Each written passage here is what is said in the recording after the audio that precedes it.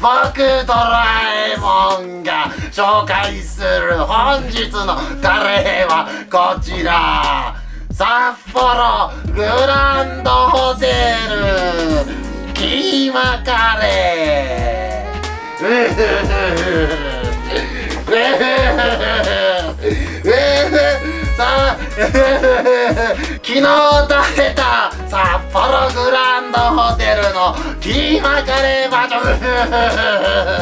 ホテルのカレーはとっても煮込んでるから。そのキーマカレー煮込んだキーマカレー。煮込んだキーマカレーはどんだけ美味しいのか気にそれでは行ってみたいと思う。プリーズでしょ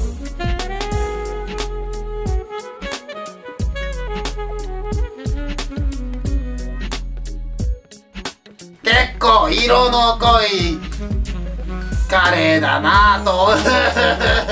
昨日のカレーと同じ香りが。それではいただきます。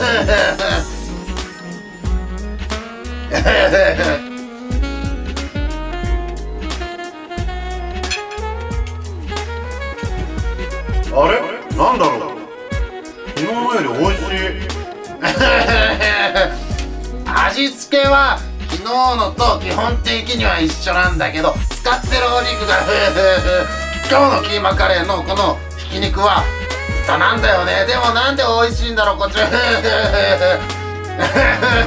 このカレービーフエキス入ってる。なんかどこを作っても肉があってとても食べ応えがある。だから昨日より美味しい感じが。する野菜とかその基本的にオリジナルスパイスとかそれは昨日と同じなだけにうんうんうんうんうんうん美味しい札幌グランドホテルキーマカレーこちらのバンディポイント18バンディポイント札幌グランドホテルではキーマカレーを頼もう今日のカレーもとってもいいカリー僕の心をレトルトパウチェ